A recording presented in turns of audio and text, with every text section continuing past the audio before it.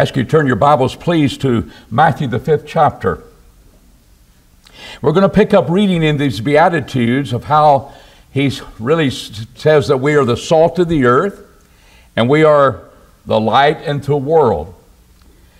And you'll notice that in verse 14, ye are the light of the world, and he illustrates that by saying, a city set on a hill cannot be hid. Neither do men light a lamp and put it under a bushel, but on the stand where all it's in the room, they're able to see that light as they are in the house. Even so, let your light shine before men, that they may see your good works and glorify your Father who is in heaven. It's a familiar passage. After dealing with the fact that we are persecuted for righteousness' sake, that we can rejoice even in those difficult times. But it tells us what our relationship to the world is. We're to be the salt of the earth. But what we see here is I'm a light unto the world. And how is that illustrated? A city set on a hill cannot be hid. We were in a boat running around the waters there. That might be a nice evening, wouldn't it? You couldn't avoid that city. He didn't say you're like a city set on a hill. You're the light of the world. And he says, a city set on a hill cannot be hid. So you can't hide your light. And whenever do you need a light? You know, you may have a flashlight and your car's broken down, and the lady says, I got a light, I'm reading my novel. No, I've got a flat, help me. You want to shine your light on what is needed at the moment. There's a contact. There is a, there's coming into the presence of. And that's the world. We don't go into a cave or a monastery or separate ourselves from the day to day relationship with the world. We would have to go out of the world, Paul was saying. And yet, we're not to have fellowship with fornicators. Those are brethren, and we have to separate from them, but not the people in the world. And then, how do you be a light if you put a bushel over it? That might be good ambiance, I guess, if you want a, a, kind of a dinner and you want to kind of keep the lights low. But the light needs to shine to everybody in the room. That's the whole point that Jesus is making. You don't do that if you want your light to shine. Well, I want your light to shine. You shine your light before men that they may see your works that are good and glorify your Father who is behind it all. That's our, it's our relationship. So, my question is how do we live in this world, in contact with this world, and influencing it for good? We're keeping the corruption or salt. But we're shining light. We shine the light of the gospel, as we saw this morning. The devil doesn't want people to see the glory of Christ in the light of the gospel. So he tries his way of keeping that word from being proclaimed. And he does a good job. Nobody wants to hear what you have to say. They probably won't receive that. It's hard. You're not going to get them to study with you, so we don't try. We don't try. No, we're, we're all involved. We prayed today, to, this evening, to be in contact of trying to teach people the Word. So we're in this world. You and I all know that. But how does one do that without being of the world? That's my question this evening.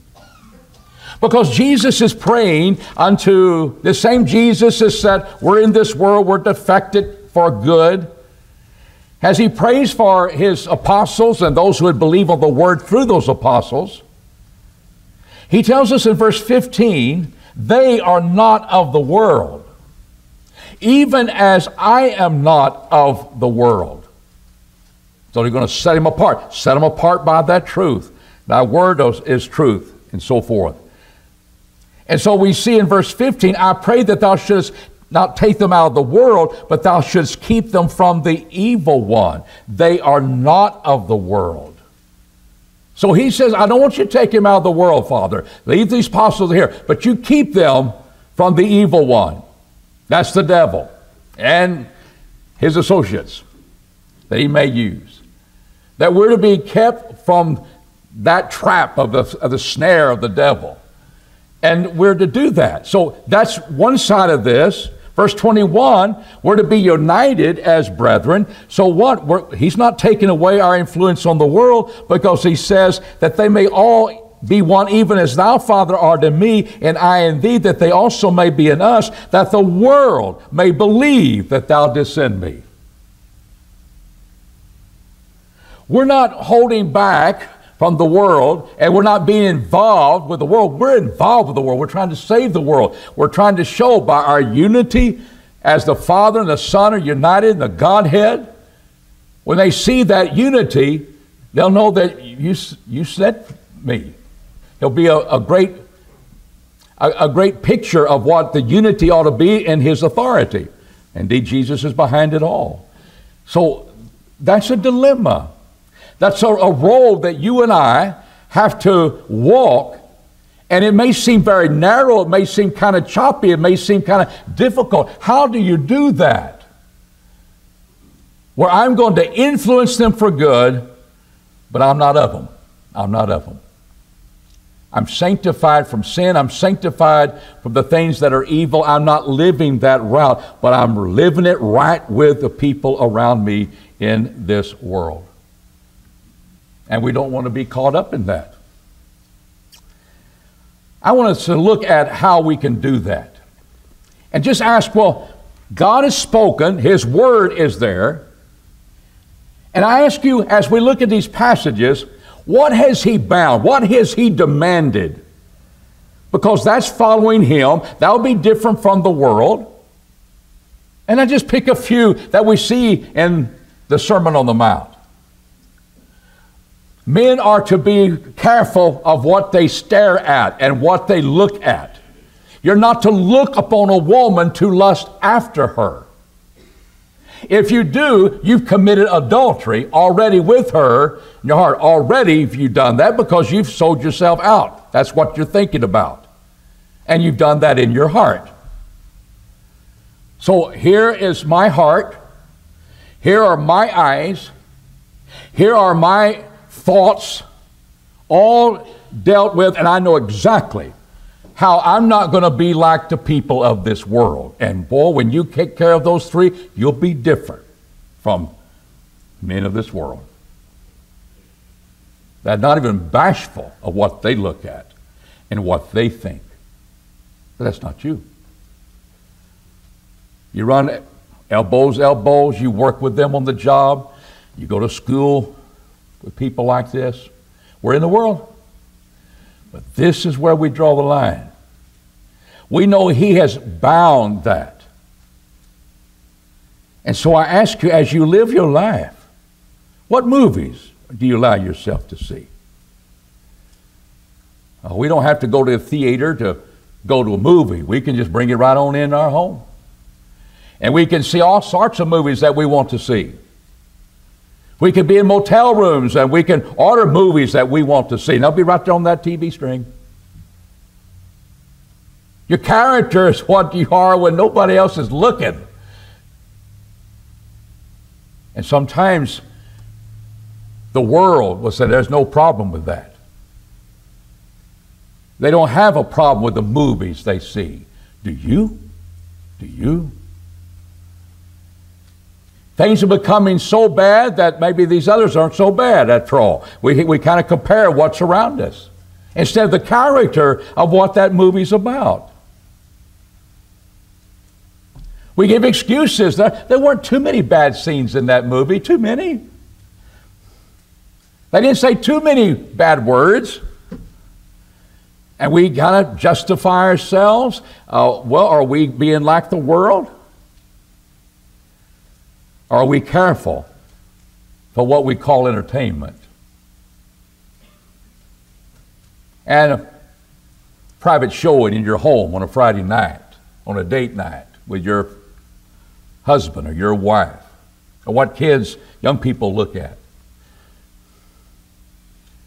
And we realize, no, I'm going to draw the line. Is, is, is it because men rates it? Is, it's PG, it's whatever, and therefore that's going to be our standard? Good luck. Good luck with that, because sometimes those ratings, you know good and well, they're, they, they're, they're not reflective of God. What do we have bound it? I want to protect my eyes. I don't want to be looking on a scene where it causes me to lust after someone. I'm not going to be part of that. I'm not going to look at that. I'm not supposed to be looking on a woman, but if she's in a motion picture, it's okay. There's just no way to justify that. But sometimes we don't even think about the movies we see. What does God actually bind? In Matthew 5 21 through 22, he's dealing with the fact you've heard it was said, Thou shalt not murder, and God goes to the heart. He goes to the heart that would cause someone to murder someone. And that's where you reflect upon the fact that you have a contempt for their very being in existence. They are fools We'll call them raca, which was a term for, uh, for idea of, of just despising someone. But there in Matthew 5, 21 20, 22, you ought to be angry with your brother. You'll be in danger of the judgment. Whosoever shall say to his brother, Raca, which is a, a word of contempt in that day, shall be in danger of the council. Whosoever shall say, thou, thou fool, shall be in danger of the hell of fire. He gets real serious about that one. It's not that God doesn't ever call anybody foolish or that we act foolish, but it's the idea of being a fool, and it's where we get our word moron. That is having so much contempt for a person, it wouldn't take much to just get them out of the way. Murder. And God is dealing with that. I tell you, He binds that attitude of heart where we get to the point that you don't deserve to breathe the breath I'm breathing, and I, I will murder you. I will put you out of existence. What kind of television shows do we watch? Television shows. I know those movies are bad, but television, that's, that's okay, isn't it? Yeah, TV, yeah. Get the news, get the weather, get the sports. We've seen how television has gone through the years. Do you trust your local newscast people? Do you trust your national newscast people? Where do you get your news? And all around cable, you can watch all sorts of, of shows, television shows. But you can watch a lot of violence on the television shows. I grew up cowboys and Indians. That's not even politically correct anymore, is it? And does that make you racist? No. But the violence today is that you don't have a right to be breathing my air. And over the years, it's just got senseless killings just so they can grab an audience. And there's an audience there that likes violence, likes killing, just for the sake of killing. And we can put our video games right on our television screen. Our children can grow up with that type of mentality. Where do we draw the line? We, what did he say? And when I find that in modern technology, that will affect how I live. I'm in the world, but I'm not to be of it. And I'm supposed to keep myself separated from that. Ephesians 5 4 speaks about speech. That idea of foolish talking, idea of, of coarse jesting, as some versions have it, talking in jest, filthy speech. That's all around us. I remember being in the west, west, west part of town a few years ago and just sitting in a restaurant and elementary kids were coming in cursing more than I remember ever took place with high school kids. Just filthy talk among younger and younger people. That's the world. The world needs saving, the world needs influence. We don't go hide in a hole somewhere, but we recognize the type of speaking we have. Are we edifying? Are we just tearing down? Are we telling jokes that you get the impression that, well, if I go there, that's not a very clean joke? But I didn't say it. You infer from my joke that's way, but that's not me. You got the dirty mind. And just silliness. And you see it on the job, you see it in school, and all those sorts of things. So we realize God is behind that my speech needs to be pure, needs to be uplifting, it needs to be edifying, and not taking one's mind into the gutter with filthy talk, dirty jokes, implied thoughts that are not clean. What kind of music do you listen to? Is it wrong to listen to music that's modern?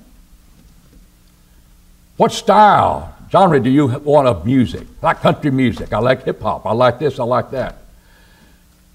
Does God bind the styles of music? Does He bind the, the type of music you like? You like rock and roll? You like country? Uh, sometimes they blend together and all of those things. Is this a style that's God's interested in? What did He bind after all? Here we have modern technology and we have a book from the first century that didn't know any of these things in their world that they lived in. But God gave us a book that still tells us, I am to be in the world, but not of the world. I want to hear my music. What's the character of your music? Is it filthy talk? Is it coarse jesting? Does it speak of violence that you're exalting as being okay in certain types of songs today? Is it speaking of thoughts that are not clean? I'm sure you've had this experience. Growing up, you liked the beat and you liked the music, and you didn't know what the words meant. You didn't care. It just sounded good, and it, it, it just got to move my feet and all that of I just like it. And then you realize, what are they saying? That's not good. Do you make a decision then? Or has that become your all time favorite? You just don't say the words. And we have to make judgments. We have to judge righteously on judgments. But God has not bound the different types of things and the, uh, the media and the very things that we have that we can grab information. We have information instantaneously at our fingertips. You can look up almost anything and find the answer. How old is that newscaster on television? I'll tell you. I'll tell you how many times he's been divorced too. Thank you, Kathy. She, she can look at it real quickly. Not that she spends her time doing all that. She helps me. And uh, everything we're interested in. How long, how many times that guy been married? Four? Wow, okay. And he hadn't got three sentences down. But that's how quick we could get things. And, and they may be right and they may be wrong, but you are informed. But what is the character of our speech? What is the character of our heart? What's our heart dwelling upon? How are we using our bodies? And really, before that, how are we using our eyes and our minds? That's God has bound that. And we can do that in any society we have. Worship is different in a lot of churches. You study with people and they're wanting, they're going to a church and you know good and well they don't worship the way that we do here. And you realize there's a difference there. Will that be something that we can talk about? Look at the sign today. There's a blending worship before you have contemporary worship today. I don't know what that blending stuff is.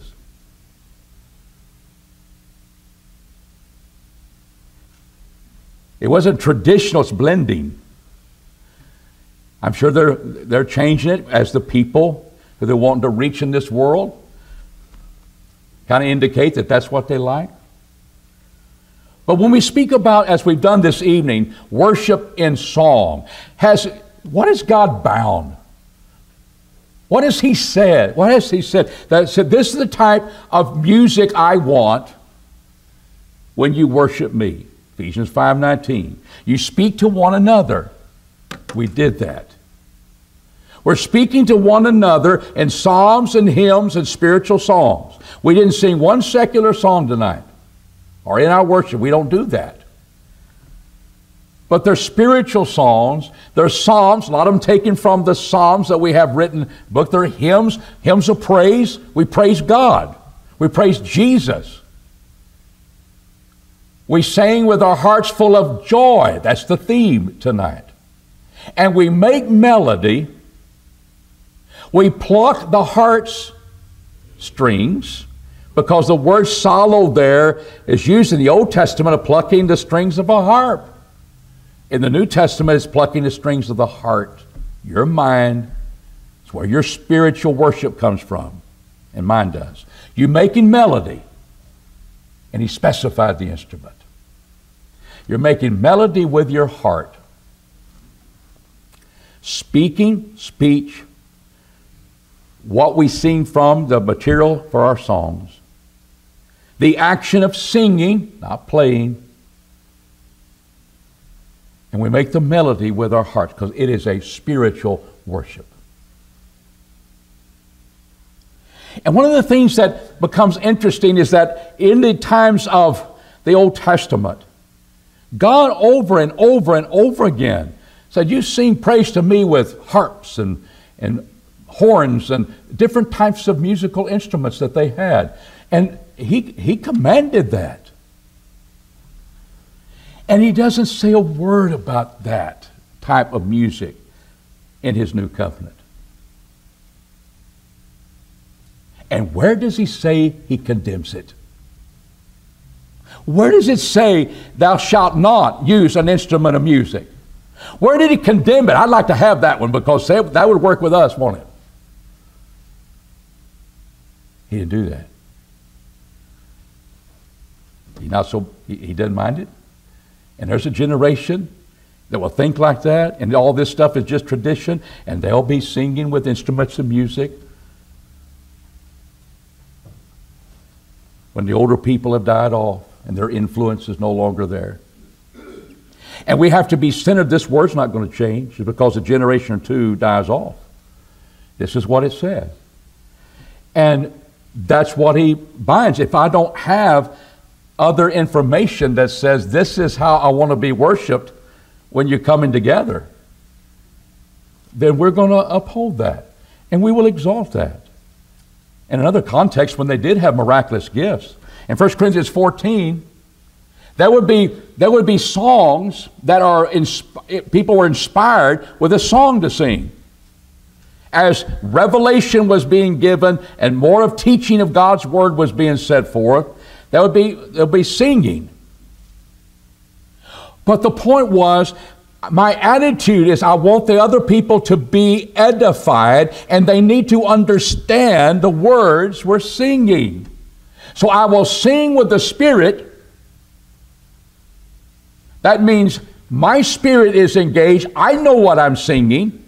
God may have given that inspiration to them. I will sing with the Spirit and I will sing with the understanding. That's not my understanding. I've already got that with my spirit. It's your understanding, it's the people we're talking to.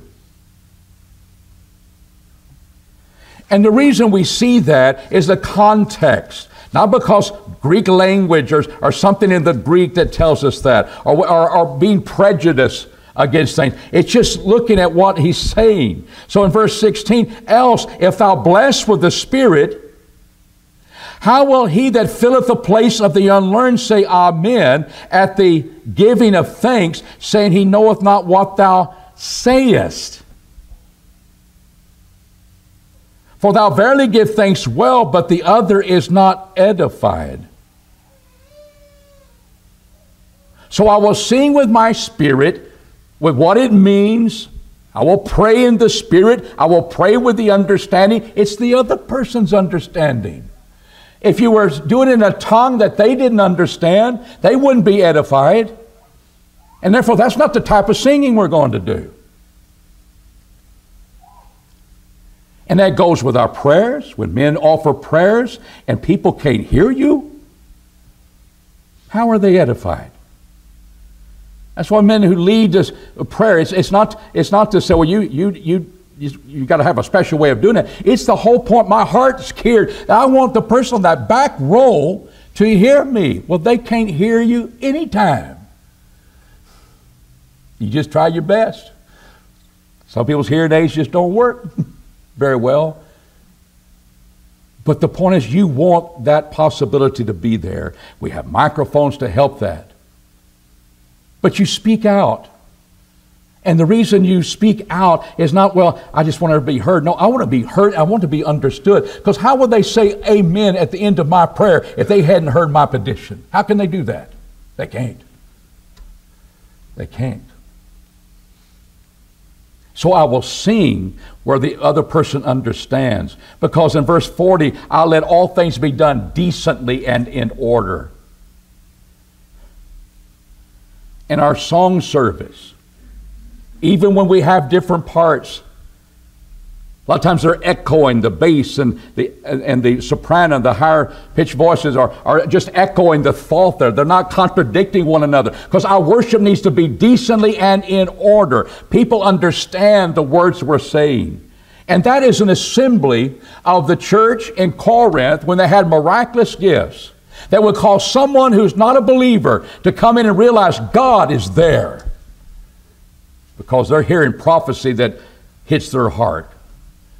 But if they're speaking in a tongue that, that nobody understands, then they'll think you're crazy. And nothing's going to be accomplished. In our assemblies of, of being together, there was this singing service. And there was singing that it wasn't, well, I have a choir tonight and we can sit and watch and listen. I love music. Or we got some people playing great on the guitar and all those things. That's beautiful. That's be your contemporary worship. Add that to it. Because people like to hear that. God is the audience. And all of us are participants. And He's the one that we're to honor. So what do we do? We take His word. I know singing is right. And the only thing that I can think of is why God didn't say this is wrong when He hasn't authorized it. Is that when the priesthood changed, worship changed. And the priesthood changed. And God made us understand Jesus is the high priest now. And we offer up spiritual sacrifices now. It changed the whole nature of worship. We don't offer a physical sacrifice, do we? Our animals. Don't offer a meal offering from our grain. Jesus is that sacrifice that, that satisfied all the aspects of sacrifice in the Old Testament, especially redeemed us by his blood. We don't offer a lamb, goat, ox. And when you change the nature of worship, that changed the instruments you used and it was to be spiritual in its nature. And he specified that spiritual aspect of it. He didn't have to say, don't use these other things. He didn't say sing and play. He said sing. And the worship comes. And when you read in the New Testament, I, mean, I know Paul and Silas are in prison. They couldn't play an instrument they wanted to that night. I understand that. But other places they could. And they've had it in the Old Testament. But when the New Testament church sings under the guidance, of the apostles, it was completely not there. Because why? Worship changed when the priesthood changed. When the sacrifices changed, because Jesus offered himself, he's the high priest, and he offered himself, he changed the whole nature of worship. And now will my people worship me like I want to be worshiped? He said, Yeah, we will. We'll worship the Lord in, in singing. And when we come together, we'll be involved in singing to one another and edifying one another and making sure the other is edified by a decent order worship. What about our dress? Our dress is something we're in the world. And do you want to go without clothes all the time? You know, you can live in that world, I guess. But no, uh, God clothed it. He clothed the first man and woman. They had fig leaves, He got them robes. And dress is something that is important because we have bodies and there's the sense of covering our bodies for you know, evident purposes, not only for warmth and that thing, but, but those are, that's private. But when we speak about our dress, realize, well, what did he bind? When God spoke on the subject of dress and tell us how to dress, what, what did he bind upon our hearts? 1 Timothy 2 9 and 10, for example. In like manner that women adorn themselves, beautify themselves in modest apparel, not just apparel, but modest apparel, with shamefastness and sobriety. It's not with braided hair or gold or pearls or costly raiment, but through good works is how we read that, but there's a parenthetical statement that is characterized, is characterized in there. I've got the but through good works. They're going to see my good works, and I'm not going to pay attention to the outward adornment, though we'll talk about there's nothing wrong with paying attention to that. But the emphasis is they will see my good works and I'll be dressing in such a way which becometh women professing godliness. That's what their heart is like. 1 Peter 3 and verse 3 and 4 that whose adorning, wives, women, whose adorning, let it not be the outward adorning of braided the hair, wearing of jewels, or putting on apparel. Does that say, well, you're not supposed to wear jewels? You're not supposed to braid your hair. If it does, you're not supposed to put, wear clothes. Because he, he, he, he said that too. Well, no, no, we got to wear clothes. There's nothing wrong with the pearls and nothing wrong with the hair. It's the emphasis. But let it be the hidden man of the heart. In the incorruptible apparel, did you know that your inside is apparel as well with God? It's the incorruptible apparel of a meek and quiet spirit, which is in the sight of God of great price. Context, submit yourself to your husbands. That meek spirit that is quiet, it's not, it's, it's not in conflict with this idea of, of submitting to Him. He has been delegated authority for being the head of his house, and you recognize that. You submit unto your husband as unto the Lord, Ephesians says. I think sometimes when we get the idea, well, you know, he, who is he? Just another person. I've got to, I've got to submit to him. It's, it's, it's a delegated authority. Wonder if one of your sons, you're having a party and you're having people drive to your house, and, and you have one of your sons or your daughter, and you have them standing out there, now, uh, we need you to park over here behind the house. You need to drive your car over here uh, around. Y'all need to go over there. And they're out there directing traffic, and you drive up. And say, hey, you're 12, 14 years old. Why do I have to listen to you? I want to park over. No, you need to drive over here, and you need to drive over there. On that particular day, their daddy who you're there as he's going to be the host of the party. Their daddy told them, Would you direct the traffic? And why do you not get up? No, no 12, 14 year old's going to tell me what to do. I'll park my car where I want to. I'm an adult, you're not. You don't have that conversation. You recognize that's part of the family and that's what they want to do, and you'll do it. You submit yourself to delegated authority. God has delegated the man to be the head of his house. And a man is not supposed to shirk that responsibility. He doesn't say, Well, I'll get up to it someday. No, that's where God placed you. And He gave you instructions of how to treat your wife. 1 Peter 3 and verse 7. But the adornment that is of great price is that meek and quiet spirit. The chaste behavior will win that unbelieving husband if he's going to be one. And that meek and quiet spirit, that inward part of the person that's being emphasized, yes, you can pretty up. You can beautify. There's nothing wrong with that, but the emphasis is this, our dress, when we do dress, will come from this type of heart. Again, it's a heart issue. And that's in play for every generation. Does God stress the style? It's the type of dress that He wants us to have and wear? Or does He address the heart? I think we can see it's the heart. The heart's connected with the dress. He says it's modest apparel. Modesty denotes order, but it's well arranged for the occasion. And there are occasions when certain dress there is appropriate. And we always have to make that decision. We talk a lot about men's dress, wearing shorts, that rise up over the thigh when you sit in the golf cart in the summertime, and, and we have to make those judgments. People say, I don't have to worry about that. That's just foolishness. We'll wear what we want to wear. No, that's the world.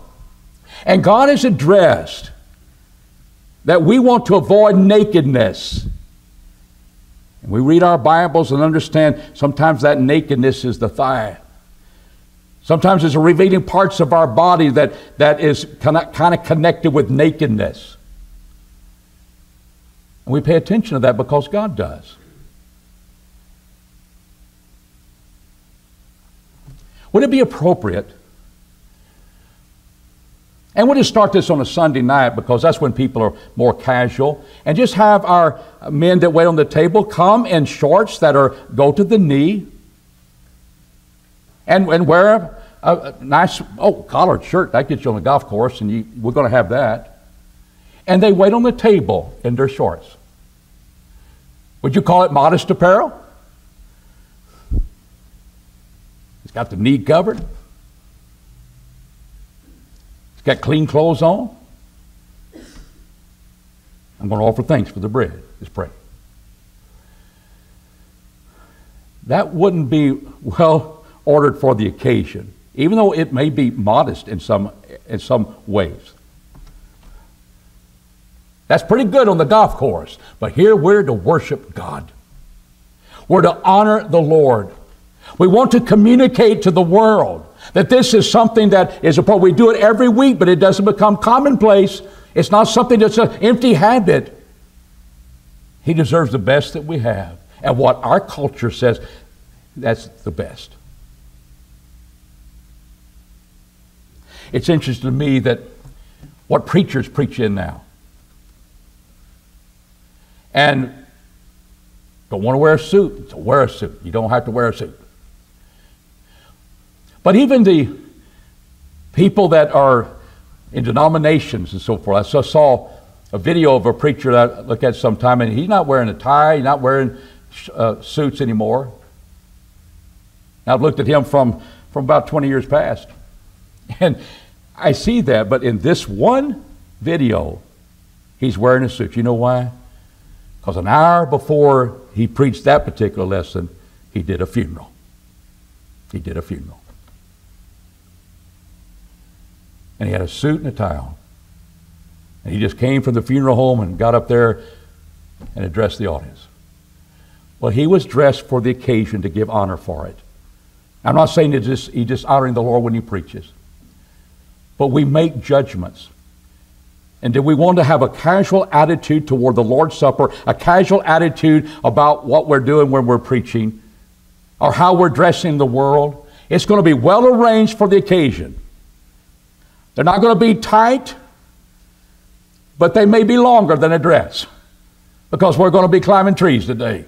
It might be better. that those legs are covered. But those are pants, you know, I know. But the point is, the styles are there, not there. And, but when we come to worship, we want to wear our best. Well arranged for the occasion. Modest apparel. Shamefastness.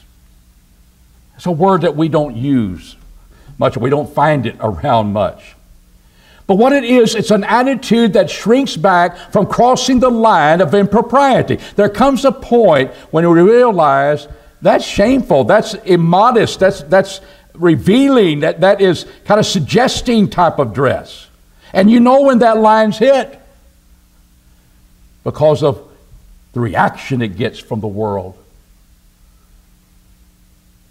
And what the heart of this being trained by God in His Word, any society, is that I will shrink back from crossing that. I have a sense of shame of how my dress is affecting you. Just like my singing and my prayer and how it affects you. Do you understand it? And I don't want to cross the line that I would bring those stares of a boy or a young man because I'm not properly dressed. That would encourage the thoughts that are pure instead of impure. And you see that in exercises, you see that in track, you see that in all sorts of people. People are exercising and they, they wear their attire. And there's some men and women that run around the track, run around the lake, run around everything, and they don't care how they look. They sort of skimpy stuff. And I watch men who watch them, because my eyes going to be there. And I watch men who watch them, and they stare and they stare and they stare. What's going through their mind? Well, you haven't left much to imagination. You've encouraged that stare. And what happens, a woman has that sense of, shame, sense of shame and has the sobriety, the sober mindedness, and sound judgment to not wear that. Because you know how men are, you know how other people are. And what does he do? He doesn't address the style, he addresses the heart. What does God bind? Styles? Well, here's your first century dress. I don't see a woman looking like that this night. Do you? Well, no woman's going to wear a basket like that. but the attire, is that modest? And a lot of people dress that way. Did God bind that? In the first century when the Bible was, was, was produced? And therefore, these two women in the 17th century just as evil as they can be. That's, that's immodest, really. It's not the same style. But that was the style of that day. What about the 20th century? And we're living in the 21st century. But here, two ladies out for tea and the 20th century. Something immodest about them? We could put some pictures up here that she's, well, I don't know about that. That's, that might be a little risque there, and we may have our judgments about what is and what isn't. But no line of impropriety has been crossed. When we put into our heart that desire that we will dress properly. He doesn't bind the styles, or we would be back in robes of the first century. But every culture, every society, every the times that we live in, dress changes. I've said it before. I grew up as a young man, married man, teenage man, waiting on the table when hot pants was in style among brethren. Mini skirts, maybe they wouldn't wear hot pants, that's what they'd wear to work. The world was, but our ladies were, were wearing mini skirts. And they got real mini when you sitting down in a pew. And I don't know if we'll ever get back to normal, but that we passed down that plate down that aisle. We didn't just take it ourselves. And it was embarrassing. And then all of a sudden, styles changed. And those dresses went right to the floor because we're going to have maxi now. Not mini, we're going maxi for a few years. Styles can change us, but God's Word can't. And what are you doing, ladies? What are we doing, men? We are living in a world. We want to be in that world. We're not going to be conformed to that world. And we realize how God has bound His will to us. And so, be not conformed to this world. How do I do that? I'm renewing my mind to be conformed to God's expressed will. In Romans, the 12th chapter, verses 1 and 2. I beseech you, brethren, be by the mercies of God to present your bodies a living sacrifice, holy, acceptable to God, with your spiritual service. Be not fashioned according to this world. How do I do that? Be transformed by the renewing of your mind, that you may prove what is the good, the perfect, acceptable, perfect will of God. So that's how we do that. And so we look, what have you bound, God? What have you said that this is how I need to think where I dress? The music I listen to, the TV shows I see, the movies I allow to come into my purview. He has talked about that.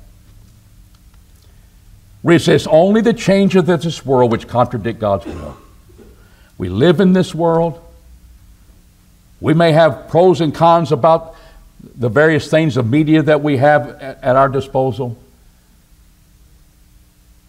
world may be doing things that you wish that they get back and do it the old ways. And people will do things different ways, things will change. But when things contradict God's word, and you're renewing your mind by the word of God, you will be able to make those things. That's where you draw the line.